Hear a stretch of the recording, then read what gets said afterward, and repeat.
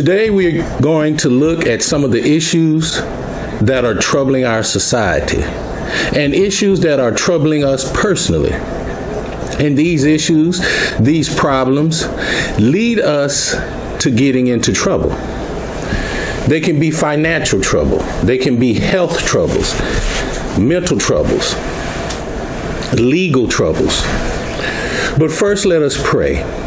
Heavenly Father, we come before you in the name of the Lord Jesus Christ. We ask that you open our eyes and our ears, our minds and our hearts, so that we can hear your word, so that your word comes into us and changes our hearts and minds according to your will. In Jesus' name we pray. Amen. Brothers and sisters, we find ourselves sometimes oftentimes in trouble, in troubling situations. And we often think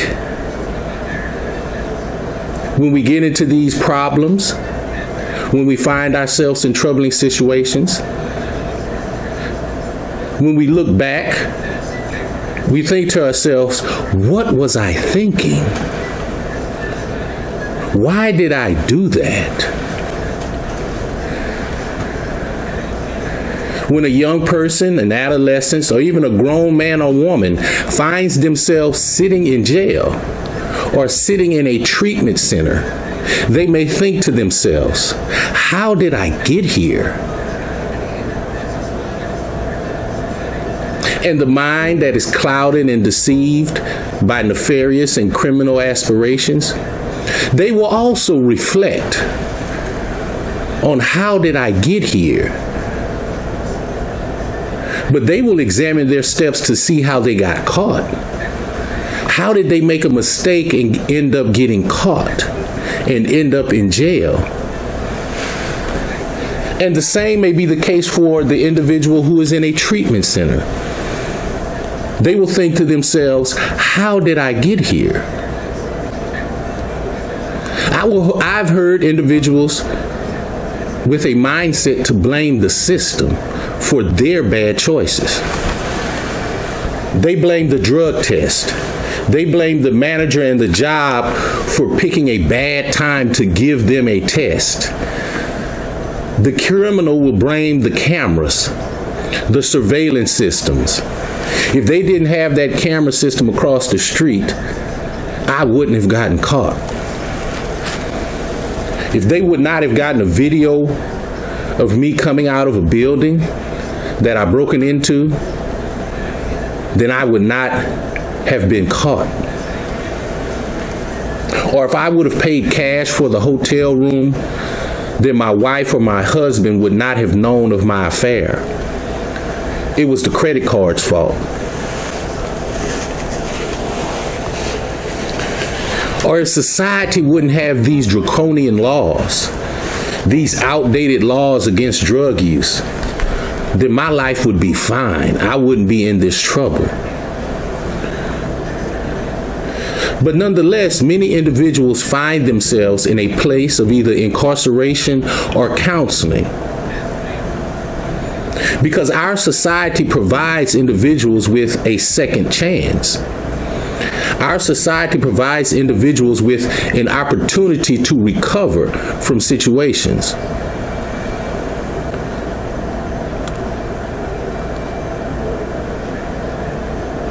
Because it is not an ideal situation to be locked up in jail.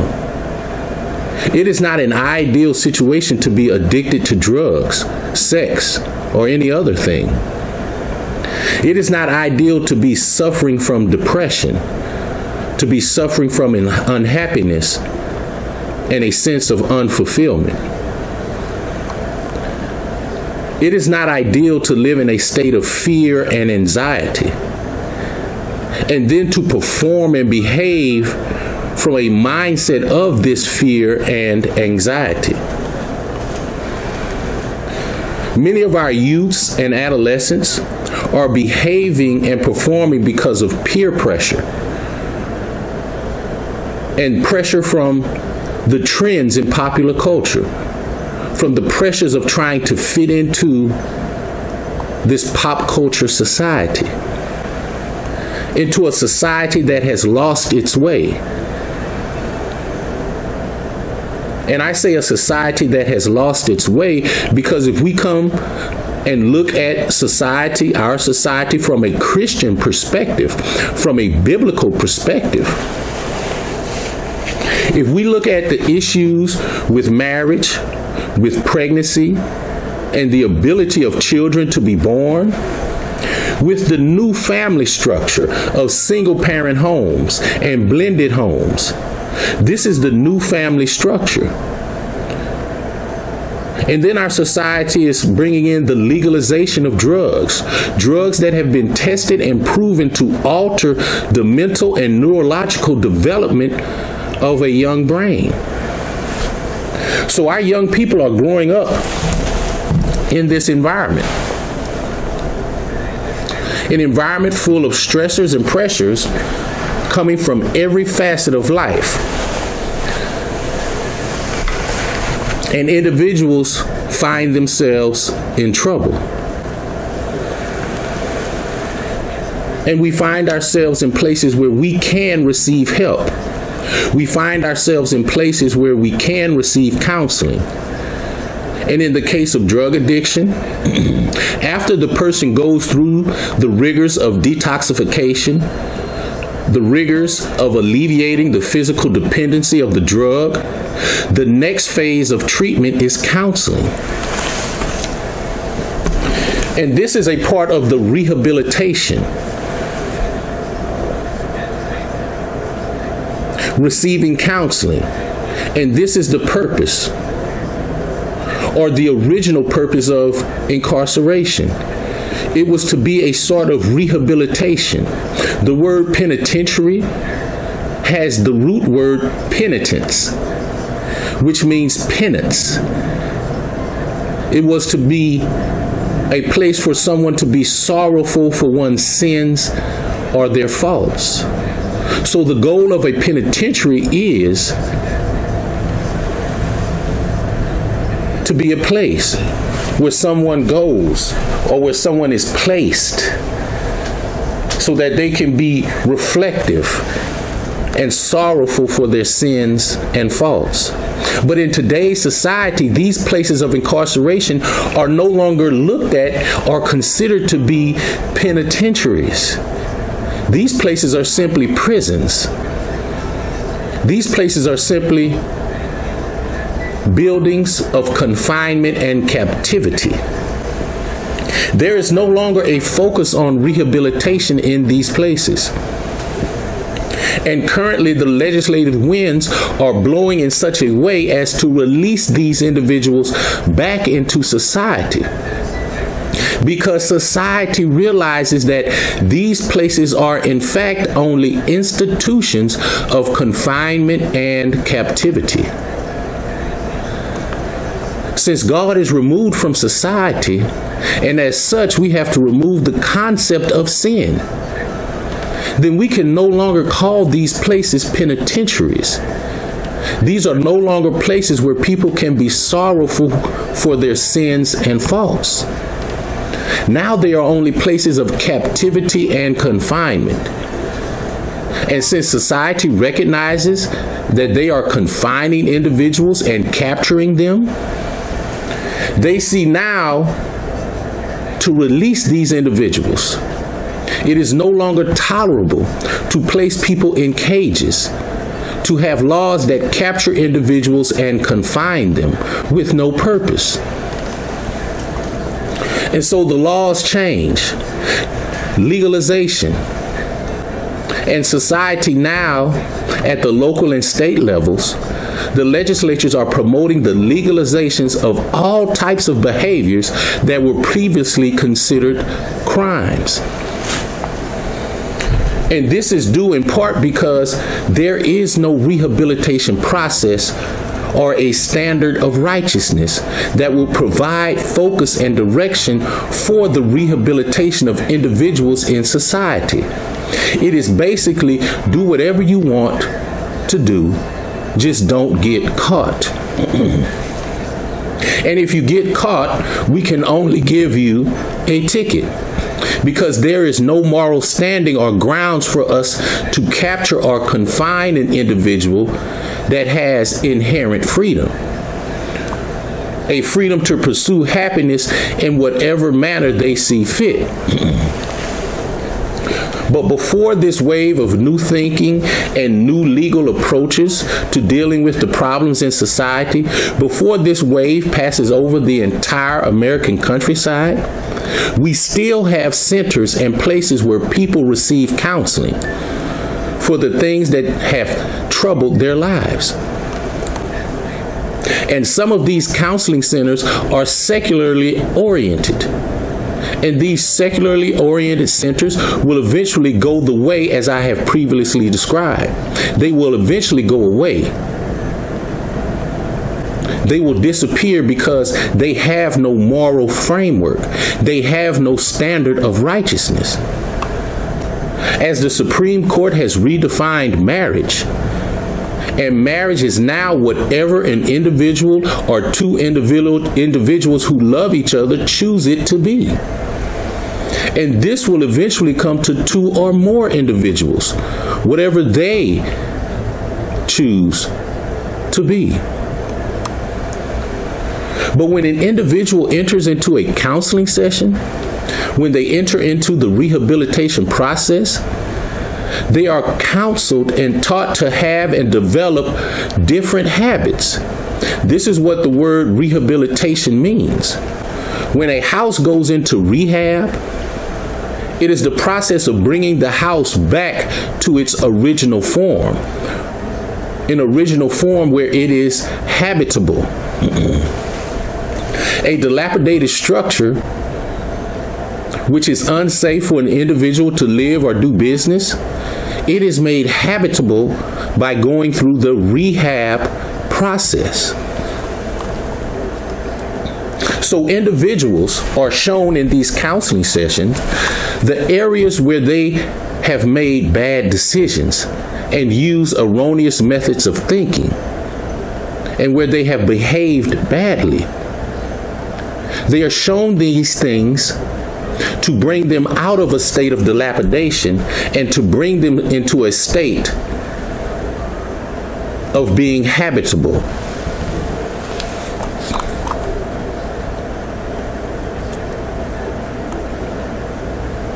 If we take a look at Colossians chapter 1, starting in verse 12, it says, And giving joyful thanks to the Father who has qualified you to share in the inheritance of his holy people in the kingdom of light.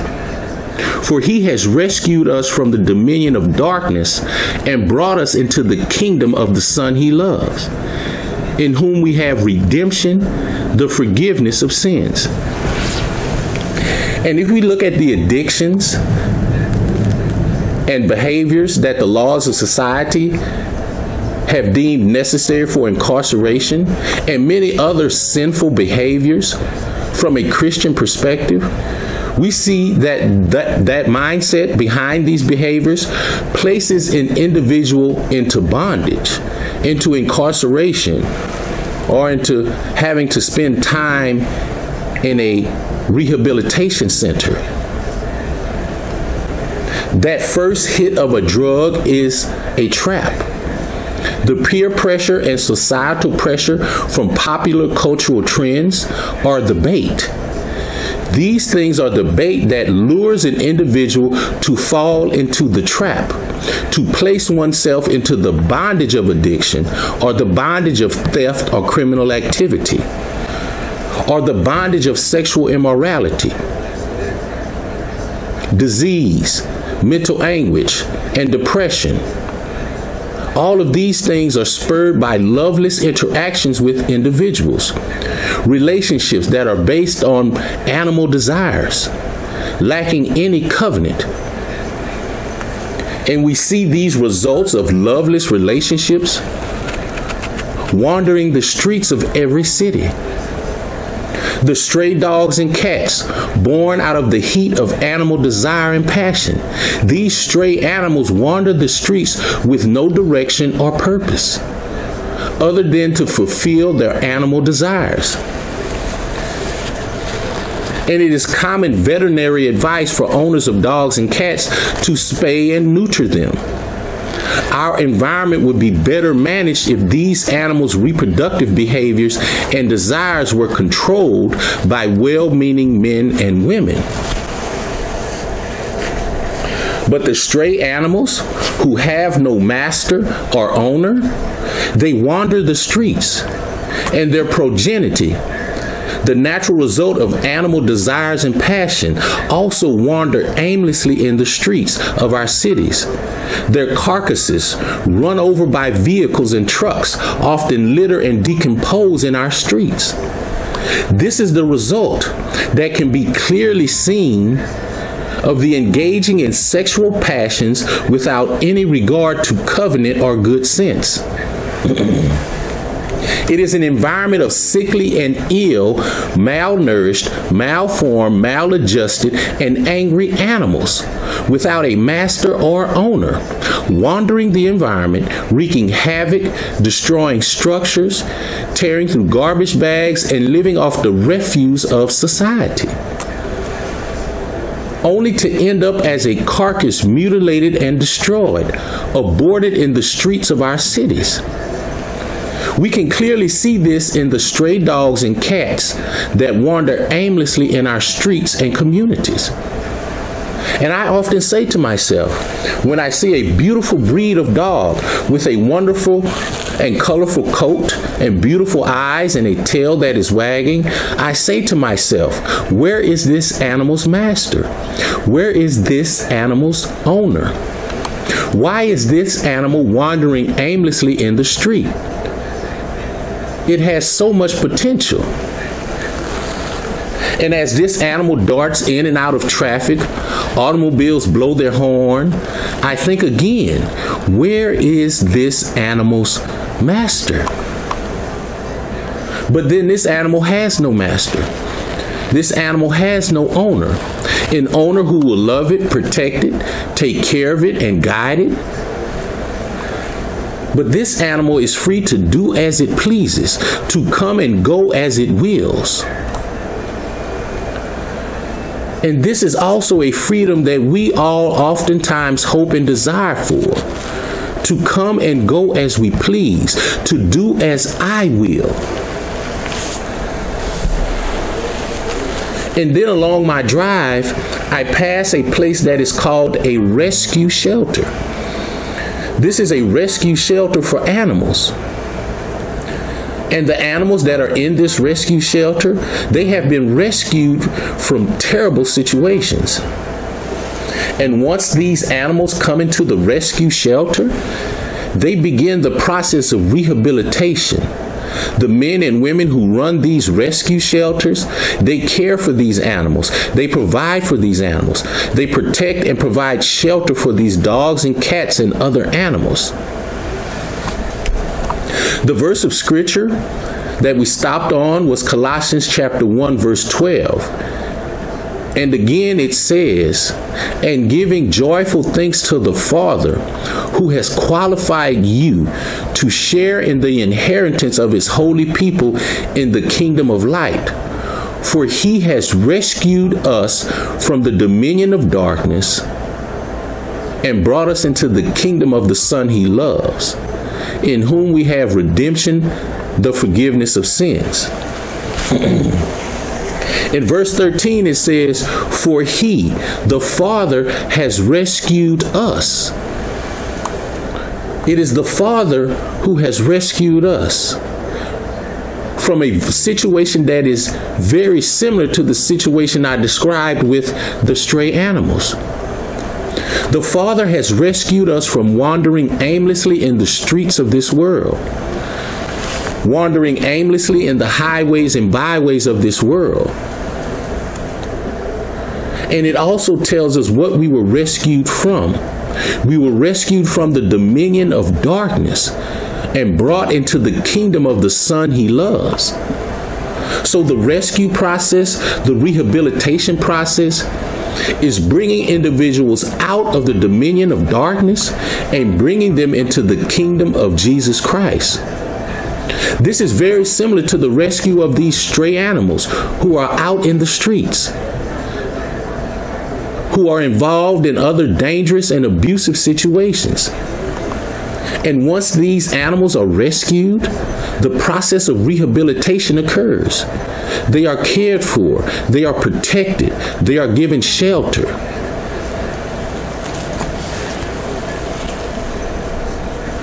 And then the word of God says, and then they are brought into the kingdom of the Son he loves. The goal of the rescue shelter is, and this is the long term goal, to find these animals who were wandering aimlessly and running stray, to find these animals a home, to find these animals an owner, an owner who will love them, protect them, and give them shelter. And from a Christian perspective, this is our God. And we enter into the kingdom of Jesus Christ, the Son he loves. And this is where we will find love, shelter, and protection from the places we have been, from the things that we have done, and from the people and entities that we have aligned ourselves with, the dark forces that we have promoted in our lives. But the thing that I want to focus on now is the counseling session. The activity and the information that is given to an individual who enters into the process of counseling. What happens in this counseling, this rehabilitation session? What is an individual taught? What life lessons are they given? And this will happen in a secular environment or with a Christian counseling session. If an individual is being counseled on their problems with theft, with stealing, with criminal activity, And this applies across the board to many of the problems and troubles that individuals get themselves into. The counselor will approach these issues with a service learning approach. It's called community service.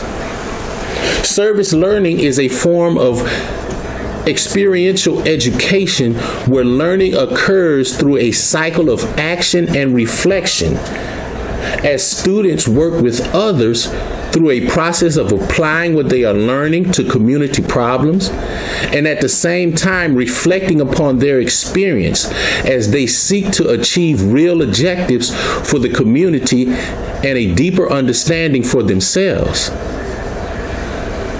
So when a person enters into service learning, into community service, it is oriented for the person in rehab to help others.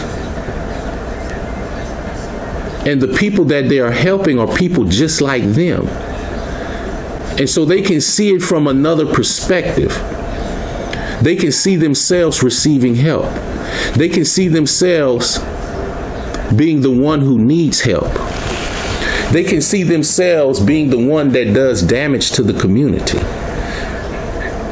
And then when they reflect on these things, that experience will teach them the error of them of their ways.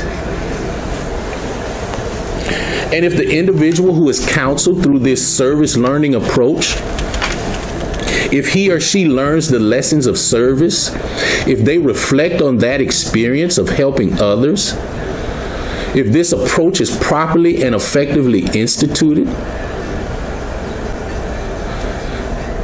the individual receiving this counseling and this training after they reflect on their previous behaviors, they will come to see the wrongness that was in their previous behaviors.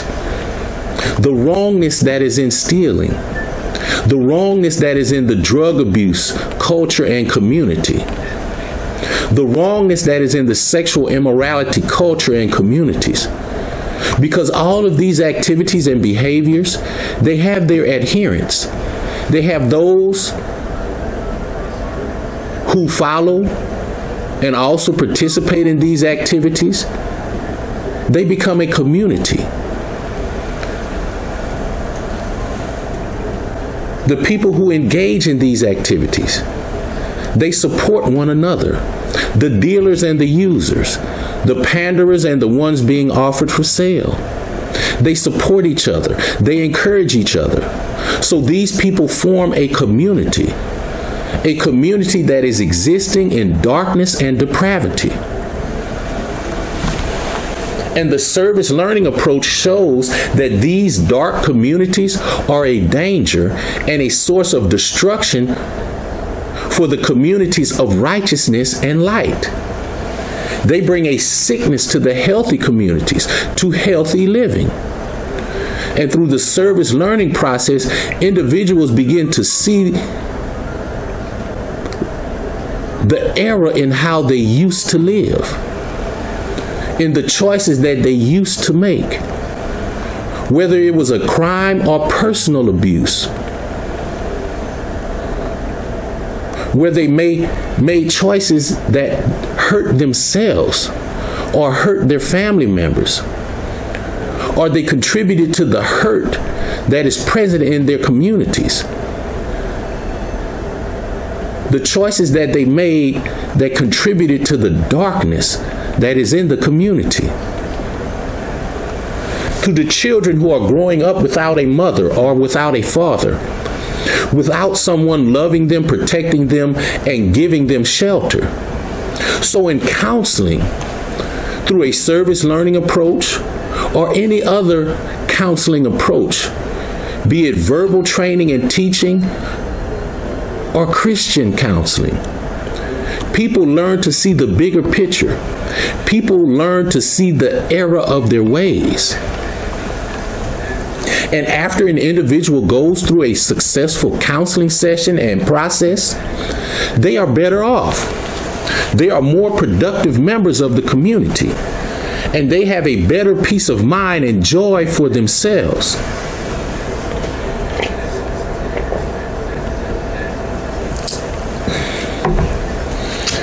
But the question is this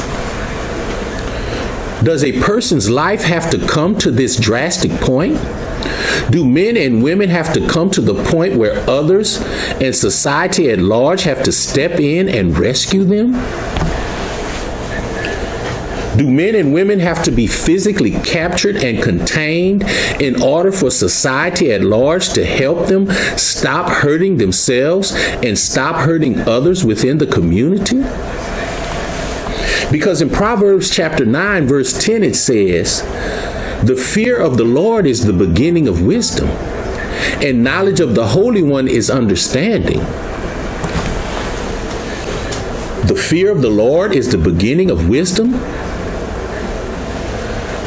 Now, after the service learning or the counseling session, after the rehabilitation process, a person who successfully completes these processes and continues to carry out what they have learned in their lives, these individuals are said to be wise. They are wiser for having gone through this process, this counseling process, this rehabilitation process. But, brothers and sisters, I'm here to tell you today that we do not have to go through these extreme processes. We do not have to go through rehabilitation. We do not have to go through this counseling with others. We do not have to go through the penitentiary process. We do not have to go through these extreme processes. If we read, understand, and follow the words that are written here in Proverbs 9, verse 10, the fear of the Lord is the beginning of wisdom, and knowledge of the Holy One is understanding. Anything an individual learns after they've gone through the rehab process, after they have gone through a counseling session, anything that they have learned and that will benefit them has already been given in the Word of God. In the Old Testament, the Israelites were given the Ten Commandments and also 600 other commandments, instructions, and directions on how to live in society and how a society or community should function. In Galatians chapter 5, a basic outline on personal behavior is given. And this is for my New Testament Christians. In verse 19 of Galatians chapter 5, it says this The acts of the flesh are obvious sexual immorality, impurity, and debauchery, idolatry and witchcraft, hatred, discord, jealousy, fits of rage, selfish ambitions, dissensions, factions, and envy, drunkenness, orgies, and the like. I warn you, as I did before, that those who live like this will not inherit the kingdom of God. In any counseling session or rehabilitation process, a person is trained and taught that sexual immorality, impurity, and debauchery idolatry, witchcraft, hatred, discord, jealousy, fits of rage, selfish ambition, dissensions, factions, envy, drunkenness, orgies, and the like is wrong and bad for the community. These activities, and you can pick whichever one that you are being counseled for or being rehabilitated for, or you can pick more than one because many of us have had problems with three or more of these issues. If you have entered into counseling, if you have had to go to rehab, if you have had to go to a doctor or a psychologist because of your stress, your depressions, And these stresses and depressions that are probably most likely related to one or more of these issues that are present in your life or in your relationships with other people. You are going to learn in the counseling sessions, you are going to learn in the rehabilitation process that you should avoid these activities. You are going to learn that you should avoid sexual immorality. You are going to learn that you should avoid jealousy. You are going to learn that you should avoid fits of rage and anger. You are going to learn that you should avoid drunkenness. You're going to learn to avoid selfish ambition. You're going to learn to avoid hatred, discord, and dissensions. You're going to learn to avoid being envious. All of these things you're going to learn after the fact. If you are successful in the counseling or the rehabilitation process or the penitentiary process, if you have to go to prison to learn your lesson, what are you going to learn? The lesson that you are going to learn has been here in the Word of God for over 3,000 years.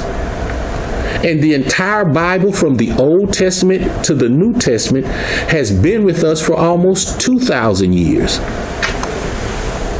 And each one of us who are suffering with these problems currently or who have gone through a rehabilitation process or who has went through a counseling session or has been through the prison reform process all of us who have been through these processes or currently need help with these issues that we are facing. We have been exposed at one time or another to the Word of God in some form. We may have had Bibles in our houses growing up, or we may have seen a preacher on TV or heard one on the radio. We may have seen uh, in a movie a preacher or a church service. So, in one form or another, we have been aware that there are churches and there are and there is a Bible. Many of us have grown up in homes where parents, either a mother or a father, has brought us to a church service. So we have been exposed to the Word of God.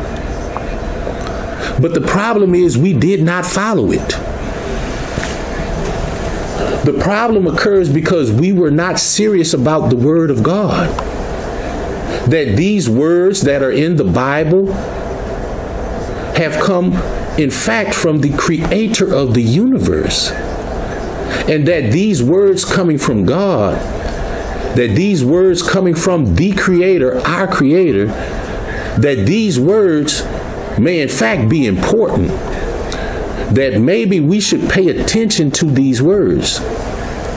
The same lessons and instructions the commands that are given by God to us in this world, these are the same lessons that we will learn if we have to go through the rehab process, if we have to go through the prison rehabilitation process, if we have to go through a counseling process. If we have to go through these processes because we have gotten ourselves into trouble, what will we learn? after we go through these processes. We are going to learn nothing more than what God has already told us in His Word. And so when we go to Proverbs 9, verse 10, and it says, The fear of the Lord is the beginning of wisdom, and knowledge of the Holy One is understanding. Now, when we read this verse, its importance and divine nature will often escape from us. What is the fear of the Lord is the beginning of wisdom. But now that I reflect over my life, now that I am a Christian and one who in fact fears the Lord, and now the decisions that I make in my life, I see that these decisions are wise. They stand the test of time. They prove to be wise decision during the times of recession and during the times of opportunity. My decisions now that I am a Christian and I respect, honor, and fear the Lord, the decisions that I make are wise in sick times and in healthy times. When viruses are raging through society, when communicable diseases are catching the unwary and scarring them for life, placing individuals in bondage, in bondages to have to take medicine, to have to have the money for pills so that the disease that they contracted will not infect others and not continue to destroy the, their quality of life. Their lives now are in bondage to a pill, to have to go out and get money to buy a pill because they contracted a disease through engaging in certain behaviors. So my decisions based simply on the fear of the Lord has provided me protection from these things, has kept me healthy, and kept me out of all sorts of bondages. But I have also come to this wisdom after the fact. I have come to fear the Lord after I was rescued. I have come to fear and respect the Lord after being in the bondage of the kingdom of darkness, after wandering the streets aimlessly. And in my mind, I no longer had a master. I could do as I pleased. I could do as I willed. And after my counseling session, after my rehabilitation process, after my prison reform process, after I went through the processes, then I learned to be wise. The process taught me the life lessons that I needed to learn in order to be wise. But the word of God, right here in Proverbs 9, tells us that the fear of the Lord is the beginning of wisdom. The Word of God tells us that we do not have to go through the process, that we do not have to go through the pain, the loss, the trouble, the prison, the addiction, the broken marriage, if only we fear the Lord. Because it is the fear and respect of the Lord and respect and fear of His Word that is the beginning of wisdom. And many of us have come to be wise after the fact, after we have gone through a process, after we have gone through a situation, after we have gone through an addiction, after we have gone to prison, after we have destroyed a marriage, after we have destroyed someone's trust, after we have hurt a family member. It is always after that we have learned our lesson or become wise. It is always after we have spent our money foolishly. It is, only, it is only after we have messed up our credit and had to go through the trouble of rebuilding a good credit history and making better decisions. It is always after that we become wise. But the Word of God tells us how to become wise in the beginning how to start with wisdom, how to start making better decisions, how to start living a better life, how to start being financially responsible, how to start being responsible in our relationships with others, how to start being a good husband or a good wife. Brothers and sisters, I don't know about you, but this life on earth is short. I realize now, after the fact, that our time on this earth is very short. There are so many things that I wish I would have done in my youth. I would have been so further ahead in, in life if I would have made better decisions back then, in the beginning. Because getting out of trouble takes up so much of your time. And these counselors and counseling sessions are expensive. They consume valuable resources. They require money that could be better spent in other areas. They take up our time that could have been used in a more effective and productive manner if only we had, in the beginning, made a wise decision if we had only in the beginning had a fear and respect for God and the Word of God. Because the only thing that we prove, that we learn, that we affirm after the fact, the only thing that we learn after is that God was telling the truth in the beginning. But for so many of us, we only come to this wisdom after when we always had it or could have had it or could have operated on it in the beginning. And I pray that we are able to hear this word of the Lord. May this word of the Lord come into us and change our hearts and minds according to the will of God. In Jesus' name we pray. Amen.